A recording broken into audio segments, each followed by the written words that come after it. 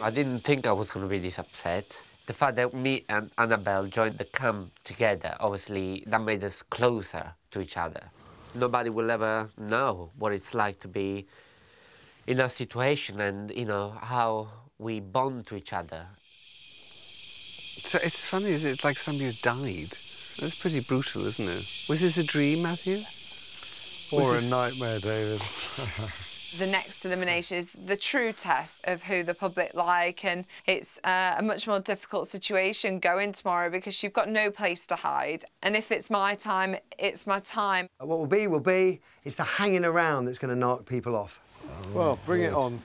It's very Yeah. strange, isn't it? Bring it on.